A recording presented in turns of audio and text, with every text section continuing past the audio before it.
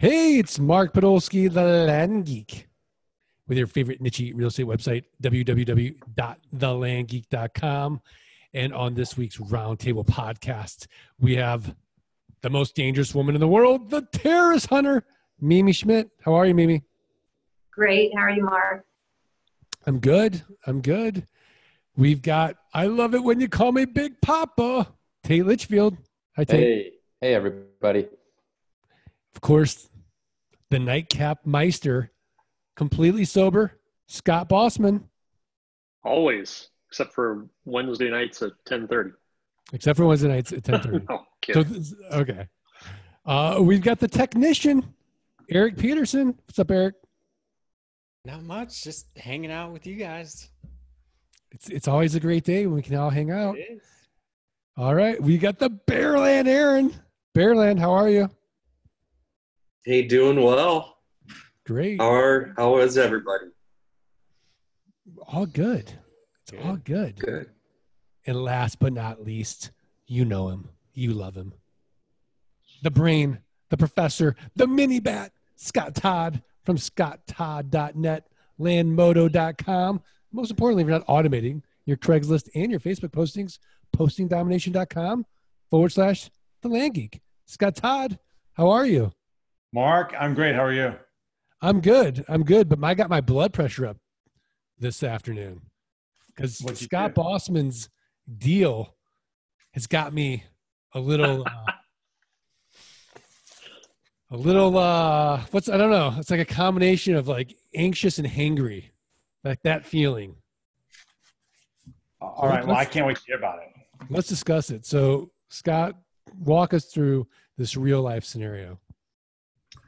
All right. So I had a pretty interesting uh, situation here in the last week. Uh, well, started uh, two weeks ago. I took a took a call at boot camp actually from a guy who was interested in selling his property. I had offered him around a thousand dollars for his one acre property, and he was really thrilled that I'd contacted him. He had he's owned the property for 35, 40 years and claims he's never gotten an offer on his property before. He's in his he's in his 80s he said this couldn't have come at a better time. We're, took, we're looking to offload this property, and I have a couple other properties. And the reason he called me was because I'm from Wisconsin and he had lived in Wisconsin. So we had a great conversation. You know how you get on the phone with, with people sometimes, and uh, you know you just like to talk to them. Uh, that's part of the fun of the job. So we we had a good 20 minute conversation, not only about his property, but about his life in Wisconsin and where he lived and where I live and what we do and, and all that we even had a couple uh, physical therapy uh, questions. So, um, so we established a really great relationship. I told him, you know, we'd go through the preliminary due diligence and and uh, do the deal uh, likely in the next week if everything came up okay. So, you know, my offer was a thousand dollars. Comps in the area are maybe four thousand dollars cash. Um, so uh, a week went by. He needed a couple phone calls because he wasn't quite sure of the process. But you know, all said, you know, I'm, I'm about an hour into this deal, plus my due diligence and all that on the side. And he decides to purchase from me. So uh, he gave me a call Friday, kind of in a panic, because he said he, he said he was going to be on the way to the bank to get the deed notarized. And that day, he received another offer for $2,000 for the property. So uh, my heart sunk a little bit because I really wanted this property. Got a little nervous, and I just went with the you know went with the flow. We had another great conversation. I, I explained to him what we do and how I thought that offer was a little bit high, uh, and uh, how you know uh, I would I'd really like to take this off your hands. So can can we can we settle on twelve hundred dollars? And he thought that was fair at the time. So uh, got off the phone thinking that he was going to go through with the deal. Turns out he called the other party, and they uh, they sold him on the two thousand dollar price. So I had a discussion with him again yesterday, and uh, he he said, "Scott, I'm really sorry. I've really enjoyed our time together, but I'm going to go with this other offer. I can't I can't not let it go." Uh, well, all said and done, I talked him into 1750. The only reason I agreed to that price is because I already have a buyer on the line. um, who I told him it was on agreement. He gave me the 250 document processing fee. Um, so got a buyer on the line and the numbers make sense. But it, it brought a whole new challenge to this uh, in the last few days because uh, number one, um, I had to renegotiate uh, to keep the property. Uh, although it helped to have that relationship with him. Number two, he was confused because the offer letters were very similar, uh, and uh, he had never gotten any offers before. So that's the story. All right. Well, it's Kind of an interesting one. and you and you know the other party that was making. I know who the I know who the other party is. Um, Yes. uh, so And, and Anyways. hopefully they're not a coaching client or a flight school client because their their their offers too high. Right, right. Their offer's too high based on the area. So, you know, this points to the to the importance of county research as well. Right. Right. So Eric Peterson, what are your thoughts? Well, I mean, I don't know. As, as Scott's telling that story, you know, I, part of me feels like, um, you know, that seller, if he signed my agreement at 1200 or whatever it is, and uh, he's going to turn around and accept someone else's offer after that, I mean, I'm not too happy about that to begin with. I mean, honestly, um, I would probably have a real upfront conversation with him, telling him we had an agreement. You know, I've done all this work, and uh, you know, we need to move forward with, with what we agreed on. I, I think I would have been kind of upset, um, and I,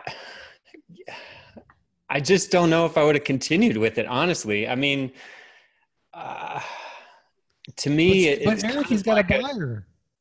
yeah, I know he's got a buyer and and that's the hard part, right? Because in my mind, you know, that's an ethical problem I have with this seller is that, you know, again, assuming he had a signed agreement and everything, um, you know, he's he's going back on his word and that that gets to me. Um, so I it's hard to say without being in that situation how I would have handled it, honestly. Hmm. The only reason I took it was because I had a buyer and uh, Yeah. Fred and I had established a relationship. Like this guy's a nice guy, right? And then he's pulling at my heartstrings. Scott ain't that nice. Yeah, let me tell you. If he's a nice guy, he would have stuck with the, the agreement he Yeah, made. with you, you, you are correct. You are correct. Oh, look at that. Look at that. That's he ain't that nice of a guy. Uh, ain't that nice. Bearland Aaron, what would you have done? Well, why don't you come back to me? I had a technical difficulty and just got back on. I'd like to hear somebody else's. All right, let's let's go to somebody that doesn't live in Amish country. Ruby Schmidt. So I kind of had this happen just in general. I was in my Florida market. I was paying between $1,800 and $3,000 for property. And a woman sent out a mass mailing offering $6,000 for the properties. It basically put me out of, mar- out of business in that market, truly. Um, honestly, Scott, I think I'd call that investor and say, hey, and talk to them about their due diligence process and say, hey, you, you can actually get your property for a little cheaper than this. And everyone listening, it's it's pretty it's pretty easy to find what local investors are paying in the area. If you can get the sales data, do a search for for owners that end in LLC. Go see what they're paying for the property. It's not that tough. If you don't have the data, um, you can look online. Individual find um, find a couple of competitors and look online. Do it individual property searches and see what people are paying wholesale for these properties. Um, yeah, because you can get them for, for cheaper, and that just makes your profitability on the on the land deal better, and it, in general makes it better for our market and all of us investors. So. I think Scott, I, I called the guy and talked to him about his due diligence. He could save himself some money in the future. Yeah, I think that's a I think that's a good idea. Yeah, yeah. I, Tate. what are you thinking? Scott. Uh, Hey, you're on mute. There we go. Sorry. I, I agree with what everybody else has said. I'd be a little upset about it, but um, you know, had I not already had a buyer lined up with the guy, I probably would have told him, you know, if you can go get more money elsewhere, good luck. But I got cash in hand today to pay you. And I'd also let him know that there's a lot of people out there who are going to make high dollar offers, but when it comes time to writing the check, they often get cold feet. And I'm an actor and I take action. When I decide I want something, I buy it immediately. And I think that's something that sets me apart from everyone else is I'm not afraid to buy this land. I'm not in this because it's fun or it's a hobby. I'm in this to purchase your property. So if he thinks he can go get money a higher dollar somewhere else, well then I understand that's what he needs to do. But when you come back to me and want me to buy your land, I'm not going to pay you the same price as I offered before. That's what I'd tell him. Yeah, yeah. Uh, That's the reality, though. That's the reality. What would you do? Well, uh, look, Scott's going to ding me. I know. I just have a feeling Scott's going to ding me. He's going to say that I tainted our market by buying the guy's property at 1750. no, no. Here's here's the deal. I've done, I've ran into this problem where where somebody in my own flight school class mailed on top of me doubling the offer. Right, like I, I was like livid over it. Okay, and but we had a buyer. We same situation. We had a buyer, and I didn't double my offer, but I did come up like fifty percent, and I was like furious over it. Like, what the but I, I had a I had a someone who was ready to buy the property. I knew it would sell, and I'm like, just buy it, whatever, because now I own it, and they didn't get it right. Now, that said, if I didn't have a buyer lined up, or I didn't think that like I was going to sell it like tomorrow, then I would have told the guy to go pound sand. And the reason is is because I would have said to him, "Hey, listen, here's the deal. I have cash in hand that's ready to come out to you tomorrow. Like I can literally, you give me a deed today, I can have you cash within two days. Within 48 hours, you'll, you'll be at the bank. If you accept this other guy's deal, he's going to have to start this whole process all over again. It's going to be weeks and weeks and weeks. And you know what? It's not going to happen. And I, I actually had a situation like that. The guy actually had my deed in hand. He refused to sign it because he wanted another $150.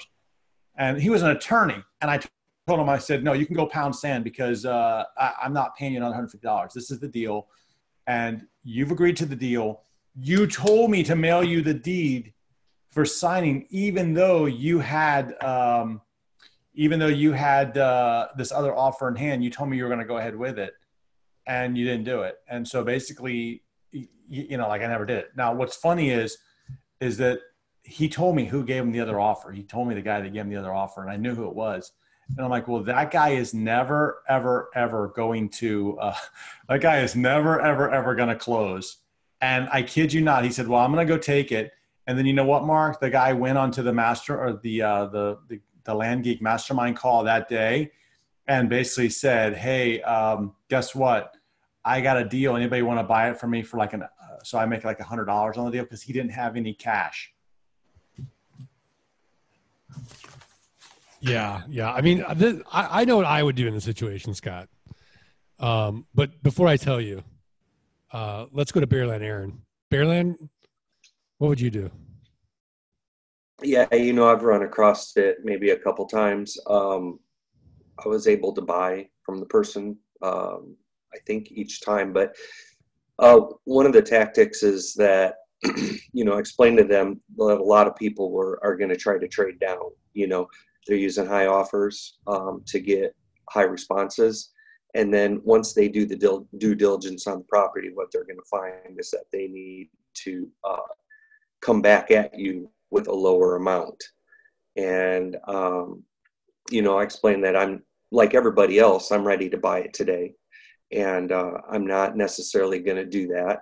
If the numbers don't make sense, I just simply won't be able to buy it from you. But um, if they do, we're good to go, you know. And um, I've pretty much had people tell me okay, and since you know sometimes it's like. Uh, you know, since I was the first one that they accepted, they're going to stay with me. That was somebody with some integrity, um, that sort of thing. But, you know, I guess it can happen. Um, and I think people might do that too, because I'm, you know, sometimes when you're first starting off, you might have a little bit high of an offer because, you know, you're worried you're not going to buy something. And uh, once you've done it for a while, you figure out that, man, there's so much out there. You're going to get so many accepted offers you know uh, stay stay where you need to be you know um, unless there was a mistake in the market research at the beginning um, which is possible too. So it happens i guess. Yeah yeah i i, I mean and th- that's the nice thing about this is that it's really a rare occurrence right mean it's a big market um, we don't see this happen a lot but i will tell you that i know exactly what i've done what i would do if this was me, number one, I'd go to the seller and say, look, we have like I would I would be like what Eric said, like like look, we made an agreement. Okay. Is the extra thousand dollars worth a loss of your own integrity? That you're gonna go back on your own word. Like I know if it was me, thousand dollars wouldn't be worth that to me to go to bed at night, knowing that I spent an hour with this guy. We're from Wisconsin. I talked to you about physical therapy. And then all of a sudden i'm thinking you're this, this nice guy and all you care about is the money right? We live in a civilized society fred. Is your word nothing? I'm laughing. Nothing? i'm laughing because i mean i would be just i don't think this would work. Beside myself. and if like oh you know it's business. I'm like no if it's really just business i can sue you we have a verbal agreement I'm not going to sue you over a thousand. He, he, would see the guy would say, Mark, you don't understand. A thousand dollars might be okay for you, but a thousand dollars is a lot of money for me. I'm an old man. I'm 80 years old. I really need everything exactly. I. I'd be like, you know what? In my wife, 80, 80, 80 years old, you're on that back nine, man. I don't want to go. I'm going to bed at night, knowing, knowing I'm living clean. Now that that being said, that being said, the second thing is I'm gonna I'm gonna reverse it, right? Number number two, right? I've done this in this own marketplace. I've given out high offers, and then you know what I do, Fred? I trade down. I find all the flaws during due diligence. I string you along 10, 14 days. I don't close at 2000. Right? Did you put a well in? Are there utilities? Right? Oh, it looks like your neighbors are selling for a thousand. And then I go back down and I renegotiate at a thousand dollars. You want to take that chance? let me know. And then I'd hang up on him. Then I'd call the person that I know made the offer. I'd say, look, I've got this guy. I spent an hour of my time and I have a buyer. Back off. You call the guy right now and say, I know that I sent you an offer for $2,000. It was wrong. My offer is 800 and hang up with that person. And I'd be on a conference call with that guy to make sure that he did it this is a community. Does a community mean nothing? Is it all about money? Look, look, what a rant. Listen, man, that's collusion. And like, you know, it's you can not get an auction, Scott Todd. This is not an auction. This is not a government deal. Okay. this is not collusion. Hey, Mark, can I? I want to tell you something though. This is pretty interesting to me because it's funny that Scott brought this up about like you know the fact that this guy's owned this this land and scott is it a, is it a county that's popular with other land investors very okay. sure so yeah. look here's the deal i was looking the other day in lg pass because i was i was running some numbers and i'm like what is the number one county uh, that land investors are going to be because on Landmodo it's it's it's like a large county right like I, look the, I, I looked at it and like there's a there's a by far there's like one county that uh, that we go to by and far. I think everybody that that that's doing anything with land investing probably knows what it is. That said, I went into LG Pass. I'm like, hey, let me take some APN numbers at random, and let me run some analytics behind it to see how many offer letters people are getting that are being generated from LG Pass. Which there's a lot of offer letters being generated from LG Pass, right? So I took I took a number of uh, individual APN numbers. I probably took about ten of them, and I randomly put them in to, to search to see how many offer letters they've gotten over the last two years. And do you know the the maximum number that I saw was three, three offer letters per APN number over a two year period. Now, this is in probably one of the most populated uh, or or most land investor um, counties, Friendly. friendly Saturated. counties. Let's just say it's like it's like the most competitive, and it's not even competitive. competitive. The the top was three offer letters over two years, and so it just goes to show you a couple things. One, even though there's competition and we're all working in that same county, even though we're all there, guess what? We're still not pulling out all the gold. There's still lots of gold there. Two, it makes the point that I keep making. I make this in flight school. I make it in, in VIP rooms at boot camp. I keep saying the same thing. When when more and more people are promoting properties in this one area, well, when other people who don't know look at it and like, holy cow, man, there's that area again. There's that area again. There's that area again. It's like the ultimate in like vacation marketing. When you see ad after ad after ad for like Hawaii, and you see all the stars in Hawaii, where do you want to go on vacation? You want to go to Hawaii. So when you see, oh, here's another property in that area. Oh, here, all of a sudden it becomes the go-to place that people want to buy land in. It's a self-fulfilling prophecy. Yeah, yeah. So Scott Bossman, of all the roundtable responses, which one do you relate to the most? Scott Todd. Scott Todd's. I mean, I learned Mark doesn't have a heart. He's talking to an 80 year old guy who who just had he just had a Excuse me, excuse me. 1700 The 80 year old guy made a deal with me. Who doesn't have the heart? I just spent an you hour said- with him. You know what my What an hour of my to the time kid, is? though. Fred, I'm never getting this hour back. You know what it's like? You're 80. I did talk him down to be fair. To be fair, he Did. was going to go with 2000 and I talked him down to 1750. And I the old I mean, like, like I said, I, you I called the other buyer investor line. too. I think I think You know- what you would what Mark would have done is he would have been like, listen, man, you're 80, you're you're knocking on heaven's door, and uh, you're not time to like make this up. I'm a young guy. I have many many years to go at peace. So make the right decision. Right.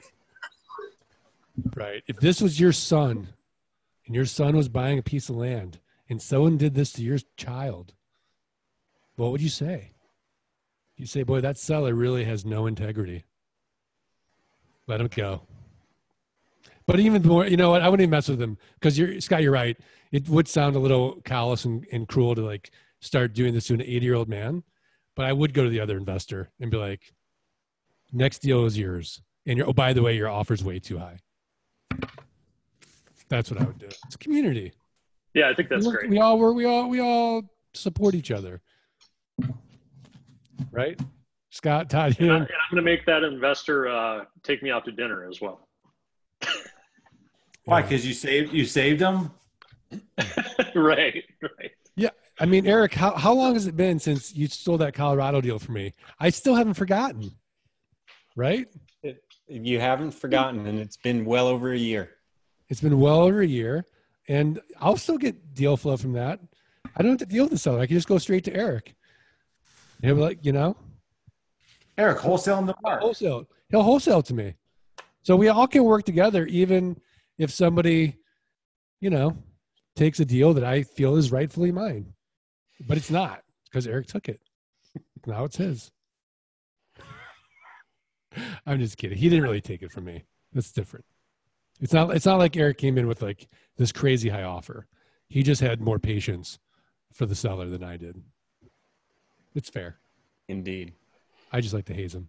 Um, well, we're now at that point in the podcast where we get to put the terrorist hunter on the spot and ask her for the tip of the week, a website, a resource, a book, something actionable for the art of passive income listeners to go improve their businesses, improve their lives. I thought this roundtable was very lively. That was great. But alas, one last tip, and I'm going to stop streaming on Facebook so the Facebook people can actually go and listen to the podcast, download it, and hear their tip of the week. So I've been reviewing all of my expenses. I feel like I've got like 40 different accounts that I manage, right? So I, um, I found this website. It's called um, whitepages.com. It's just like Intelius, but instead of spending $19.95 a month, it's $4.99 a month. So $15 less offers the same service, but for $4.99 you get 20 lookups. For Intelius is $19.95, you get unlimited. Okay, so it just depends upon how much you use it. If you use it, if you use Intelius only you know 20 times a month or less, then go over to White Pages and save yourself the money. It also does the phone reverse lookup too, in uh, in addition to looking up the person's name. It has their email address, phone number, past addresses, all the same stuff, relatives, all. That's a great newbie tip too, because if they're not doing that, the mailing volume, that really can save them, uh, you know, a little bit of money, fifteen bucks, you know, for uh, Bearland Aaron. That's like um, a nice dinner out in Amish country, Well, two of them. or two of them, really. You know, get some homemade cheese. It's great. If you go to a restaurant in Amish country, do you have to bring your own meat? Uh, no, they supply it. You have to bring your own wine. You have to bring your own wine. You have to build a fire and cook it yourself. Yeah, maybe. That's that's fair. I knew that was a And cat. provide your own Okay, life. wait, wait. Okay, so our our marching band went to semi-state this last weekend, and we are uh, following one of the buses, and the bus stops on a four-lane highway, just in the middle of nowhere, no railroad tracks. We're trying to see around this thing. This bus driver stops so this horse and buggy could cross the four lane. I mean, just stops all the traffic. It's like, really? Like, there's nobody behind us. Horse and buggy. Come on. I got a picture. I'll send it to Scott Todd. Yeah. I'm making a prediction though. I, I think that the, there's going to be like this huge tech backlash, and we're going to see all these people instead of going to big cities for vacations, and you know they're going to completely unplug in Amish country. No cell towers, right? Could could be a thing. I don't know. A lot of people do that here in DC.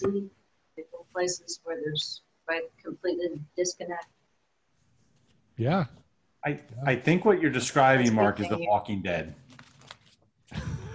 the show. We, when we've Yeah, come the show. circle. The zombies are coming, and when we lose all the cells and everything. Any You know, so dystopic science fiction. I, I was reading this uh, this Yuval Noah Harari book, Twenty One Lessons to the Twenty First Century, and he just had this beautifully written line like, "If you think that you're in control of your technology, you're not."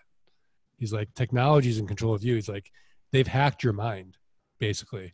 And if you go out in the world, you see everybody like this. You know, it's like we can't control it. It's just they they've hacked our mind.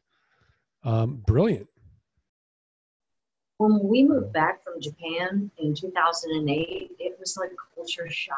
And we thought it was so bizarre. Everyone was walking around talking to themselves, right? They had things in their ears, but it just looked really weird.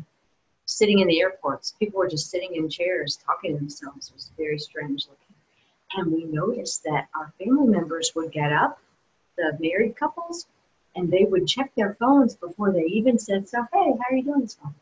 It was very strange, but it was very US centric. It wasn't so much like that on the little remote island that we lived on. So it's interesting. Interesting. Very interesting. Well, Eric, I'm going to give you the final word. And now's your chance to, you know, kind of take a shot across the bow at Mimi's tip of the week, since we're all hazing you. Absolutely not. Her tip of the week was perfect, and uh, I'm sure she'll do a great job at the tips of the week from now on. Nice. Oh, well, I, look, look how I lobbed that for you. That was just Thanks. perfect. You, Thanks, I appreciate that. All right. I- I- Well, Mimi's got her work cut out for her for next week. Until I think maybe I should do it until someone else falls into the uh, rabbit hole of, oh, I got one. Oh, no. You Yeah. can still swap like- back and forth with Zeno, though. Okay. So don't forget about All right. that. I'll check his schedule. And Jeannie's taking the month off. She'll be back in December. So the, the Go Giver Jeannie Morum will be back. So um are we good? We're good, Mark. We're good. Good. Yep. All You're right. great. I, I want to thank all the listeners and just remind them the only way that we're going to convince Mimi to continue to do the tip of the week is if you do three little favors for us. All you got to do is subscribe, rate, and review the podcast. Send us a screenshot of that review to support at thelandgeek.com. We're going to send you for free the $97 passive income launch kit. And if you have questions, today's flights uh, today's podcast is sponsored by flight school. And wouldn't it be great to get on the phone with the nightcap meister himself and maybe even convince him to say dude buddy to you?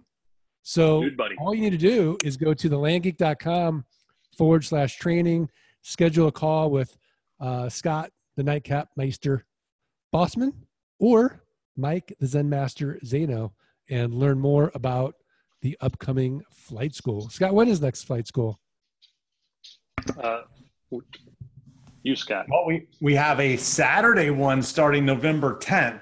Like that's our first Saturday one. It's a Saturday morning. What better way to start a Saturday morning than with me hanging out? There really, there really isn't one. Honestly. And then we I've start done the again after Thanksgiving in yeah, December. yeah, absolutely. Um, so yeah, so Scott Bossman, are there still spots for that Saturday class? There are still spots available for the Saturday class. Yes. All right, so it's a great way to start 2019.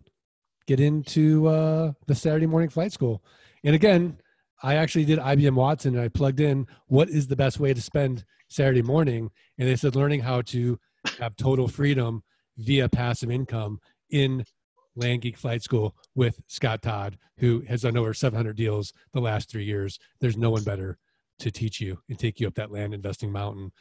So it's math. I concur. might as well do it. All right. Well, I want to thank everybody again, and uh, we'll see everyone next week. Thanks, everybody. Let freedom ring. Oh yeah, I forgot about that. I'm, you know what, Scott? I'll tell you this. This whole thing has got me so riled up. I even forgot to let freedom ring. All right, ready? One, two, three. Let Let freedom Ring. ring.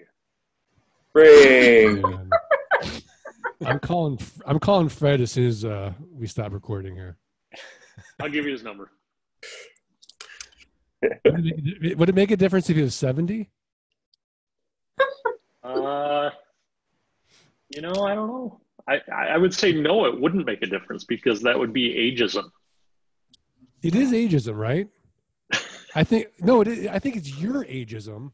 Yeah, right, right. Holding him to this uh, moral standing. Eric Peterson, are you with me on this? Oh, it's because he's 80. He gets to just do whatever he wants now. He can break agreements. He can. He can run work. red lights. There's I a social with all contract here. all day long. You know, He could not be true to his word because he's 80. I don't think so. What kind of guy is he? Uh, I mean, Scott Todd lives lives in an area where, you know, he's like a Everybody's 80. June. So oh, no. But they're Florida men. Fort when you were in Fort Myers, Florida man. when when I was in Fort Myers, yes, I think I was the youngest guy around. But well, Eric was there for a while, so you know, Eric was kind of like the younger guy. Yeah, I feel like I feel like Eric is like reversing. He's like like, like Benjamin Button syndrome. Like every time I see him, he's like younger. I don't. what kind of stress-free existence is going on in Tennessee? We might need to go find out, Mark. We might need to go. Seriously, Oh, Seriously. Nashville boot camp? I'm all for it. East Coast. Woo! Uh, I don't know about that. we love you, but we know you guys want to spend more time on the best coast, so we'll keep having boot camps closer to Hey, us. Man, Listen, we we might we might have to have a battle of boot camps, like East Coast versus West Coast. Like one weekend, we we like have an East Coast one and a West Coast one, to see which one people get I mean, more. the Uh, last time two of the most famous rappers did this, someone ended up dead. And I don't know if we can, I'm just handle saying. this. just saying, like Whoa. there, there only be like you two, and you know, Bossman, Zano, Eric, Mimi, and myself. I mean, like we're gonna outnumber the East Coast side. It'll just be Tate and Mark. Wow. That's their problem, not ours. Yeah. That's everybody's gonna come to the East Coast. Yeah. I- Tate is, um, I think this could cause some serious contention and strife, and I think we should end the podcast now, Mark. I agree. everybody Stop go recording. Hey, what about the Great Lakes? Let's go to lunch. Oh, Everybody's let's there. angry. Mackinac Island or something in the summer. Come on. It- it's it's really getting the, the it's really getting out of control here. This This is is called. this is becoming a Tupac Biggie problem. Tur- It's a turf war at this point, Mark. it is becoming a turf war. My bat's All bigger right. than yours. Ooh. All right, let's take this Oh off. boy. Thanks, everybody.